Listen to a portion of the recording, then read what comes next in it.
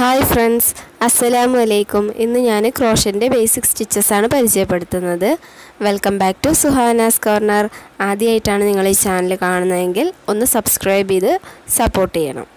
അപ്പോൾ നമ്മൾ ചെയ്യണത് half double crochet double crochet അതുപോലെ ട്രിപ്പിൾ ക്രോഷേ ഈ മൂന്ന് സ്റ്റിച്ചുമാണ് കുറച്ച് ലെങ്തിയാണ് വീഡിയോ ഈ മൂന്ന് സ്റ്റിച്ചും ബേസിക് ആയിട്ടുള്ളതാണ്. ഇത് പഠിച്ചെടുത്താൽ നമുക്ക് അത്യാവശ്യം വേണ്ട എല്ലാ കാര്യങ്ങളും ക്രോഷറ്റിൽ ചെയ്യാൻ പറ്റും. അപ്പോൾ ആദ്യം ഹാഫ് ഡബിൾ ക്രോഷ എങ്ങനെ ചെയ്യാമെന്ന് കാണിക്കാം. ഇപ്പോൾ ഞാനൊരു ചെയിനിൽ പതിനഞ്ച് ഹാഫ് ഡബിൾ ക്രോഷ വേണമെങ്കിൽ പതിനേഴ് ചെയിനാണ് ഇടുന്നത്.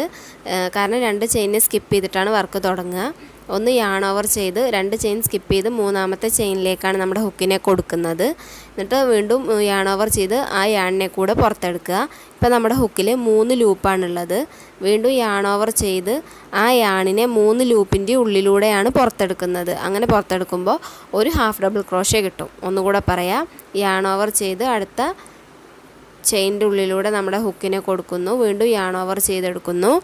അപ്പോൾ മൂന്ന് ലൂപ്പാണുള്ളത്. ആ മൂന്ന് ലൂപ്പിന്റെ ഉള്ളിലൂടെ യാണിനെ പുറത്തെടുക്കുന്നു. ഇതാണ് ഒരു ഹാഫ് ഡബിൾ ക്രോഷേ എന്നുള്ളത്.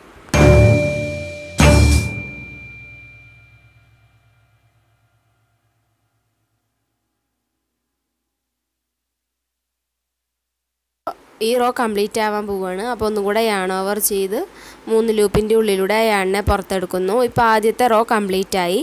ഇനി നമ്മൾ രണ്ടാമത്തെ റോ തുടങ്ങുന്നത് രണ്ട് ചെയിൻ ഇട്ടിട്ടാണ്. ഒരു ഹാഫ് ഡബിൾ ക്രോഷയുടെ ഹൈറ്റ് എന്ന് പറയുന്നത് രണ്ട് ചെയിനിന്റെ ഹൈറ്റാണ് എന്നിട്ട് അതൊന്ന് തിരിക്കുക.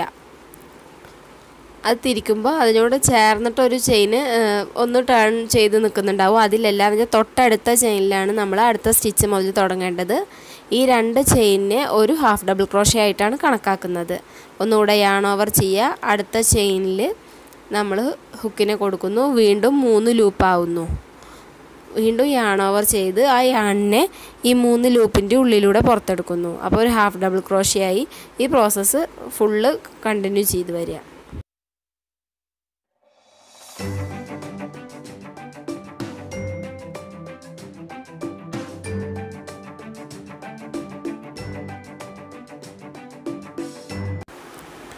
ഇനി നമുക്ക് ഡബിൾ ക്രോഷ എങ്ങനെ ചെയ്യണമെന്ന് നോക്കാം. ഇത് സിംഗിൾ ക്രോഷനേക്കാളും കുറച്ചും കൂടി ടോളർ ആയിട്ടുള്ള ഒരു സ്റ്റിച്ചാണ് ഹാഫ് ഡബിൾ ക്രോഷ ചെയ്യുന്നത് പോലെ തന്നെയാണ് തുടക്കം വരുന്നത്. അപ്പോൾ എങ്ങനെയാണ് നോക്കാം. ഇതിപ്പോൾ ഞാൻ ഹാഫ് ഡബിൾ ക്രോഷ ചെയ്ത് വെച്ചതിലാണ് ചെയ്യുന്നത്. അതുകൊണ്ട് അടുത്ത റോ ആയിട്ടാണ് ചെയ്യുന്നത്.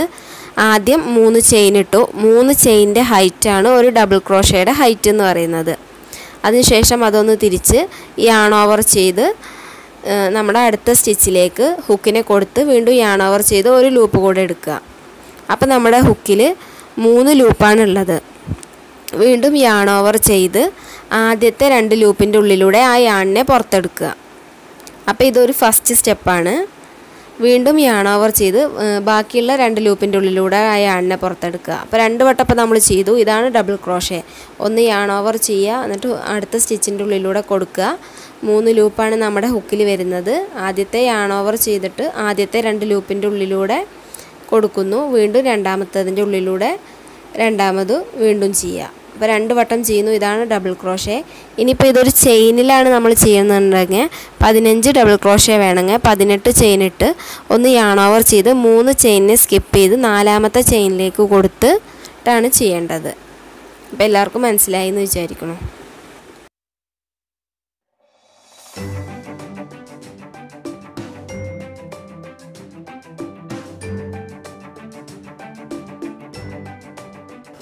ഇപ്പം നമ്മുടെ ഡബിൾ ക്രോഷേ ചെയ്ത് കഴിഞ്ഞു. ഇത് ഒരു റോ ഡബിൾ ക്രോഷയാണ് ഇനി അതോടൊപ്പം നമ്മൾ രണ്ട് റോ ഹാഫ് ഡബിൾ ക്രോഷേ ചെയ്തതിന്റെ സ്റ്റിച്ച് വെക്കുന്നുണ്ട്.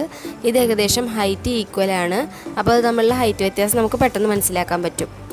ഇനി നമുക്ക് ട്രബിൾ ക്രോഷ എങ്ങനെ ചെയ്യാൻ നോക്കാം. ഇത് ഡബിൾ ക്രോഷനേക്കാളും കുറച്ചും കൂടി ടോളറായിട്ടുള്ള ഒരു സ്റ്റിച്ചാണ് ആദ്യം നമ്മൾ നാല് ചെയിനാണ് ഇടുന്നത്. ഇതെടുത്ത റോൽ ചെയ്യുന്നതായിട്ടാണ് ചെയ്യണത്.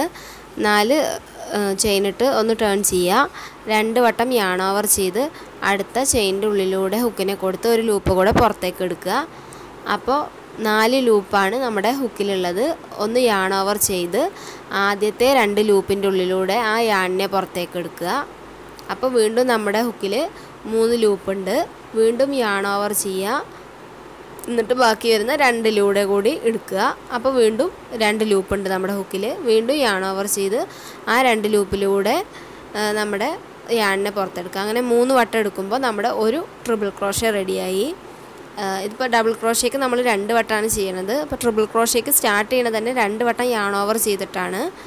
അപ്പോൾ എല്ലാവർക്കും മനസ്സിലായി എന്ന് വിചാരിക്കണു. ഇനിയിപ്പോൾ ട്രിപ്പിൾ ക്രോഷ ഒരു ചെയിനിലാണ് ചെയ്യുന്നതെന്നുണ്ടെങ്കിൽ നാല് ചെയിനിനെ സ്കിപ്പ് ചെയ്ത് അഞ്ചാമത്തെ ചെയിനിലാണ് ട്രിപ്പിൾ ക്രോഷ സ്റ്റാർട്ട് ചെയ്യേണ്ടത്. അതായത് ഇപ്പോൾ പതിനഞ്ച് ട്രിപ്പിൾ ക്രോഷ വേണമെന്നുണ്ടെങ്കിൽ പത്തൊമ്പത് ചെയിൻ ഇടണം.